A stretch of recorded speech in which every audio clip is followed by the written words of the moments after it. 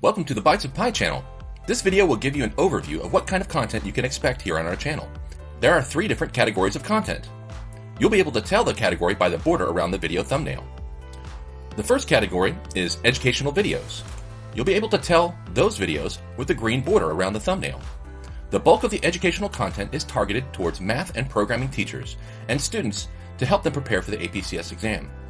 You'll find content ranging from exam practices, lab walkthroughs, and covering programming concepts ranging from primitives all the way to advanced topics like recursion. Whatever you need, you'll find something here that can help you prepare. The next category of content is the how-to videos. This content has a blue border on the thumbnail. If you've seen our house light show or our light suit projects, we'll post the behind the scenes and the how-to videos for those projects and more.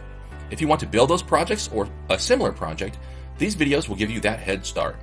We'll make sure to list the hardware you need in the video description.